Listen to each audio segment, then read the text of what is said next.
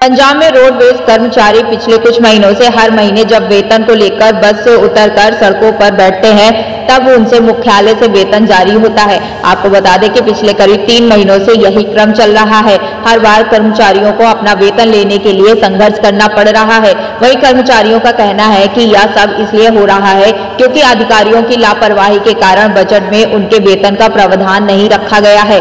इसलिए महीने भर सरकार का खजाना भरने के बाद अंत में उन्हें वेतन के लिए लड़ाई लड़नी पड़ती है। इसके साथ ही उन्होंने कहा कि अब नौबत ऐसी आ गई है कि किसी भी दिन रोडवेज़ के कर्मचारी बसों के पहिया जाम कर सकते हैं। वहीं कर्मचारियों का कहना है कि उन्हें ना तो सरकार इतने सालों से सेवाएँ देने के बावजूद नियमित कर रही है और ना ही उन्हें समय पर वेतन का भुगतान कर रही है।